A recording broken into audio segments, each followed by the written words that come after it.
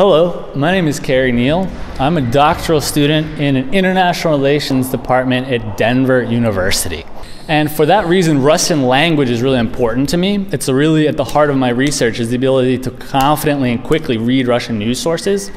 And for that reason, I was sent here to Daugavpils University through the Boren Fellowship in the United States, a government program created to encourage language learning among people who will in the future work for government institutions.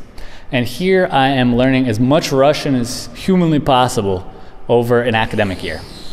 Первый, первая половина моего пребывания в Даугавпилс была замечательна.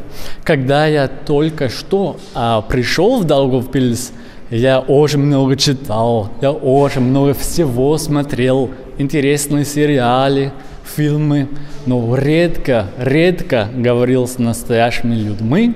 И здесь, в Даугавпилс, везде есть носители русского языка. И поэтому я очень, очень дальше придвинулся а, уже за 4 месяца. Во втором семестре здесь, в Даугавпилсе, мои индивидуальные уроки продолжаются.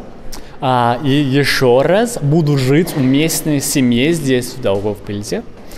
Плюс а, добавлю две вещи к моему графику. Я собираюсь работать в местной школе в качестве помощника преподавателя по английскому языку. А, на мой взгляд, это очень хороший способ как бы по-настоящему участвовать в жизни в Даугавпилсе. Кроме этого, собираюсь участвовать на настоящих а, занятиях по, на кафедре русской литературы. До того, как я решил участвовать именно в этой программе в Даугавпилс, я даже никогда не слышал слова Даугавпилс. Что это такое? Есть там на востоке Латвии хорошие условия изучать русский язык. Есть настоящий язык или есть как диалект или очень сильный акцент, который препятствовал бы изучению настоящего русского языка.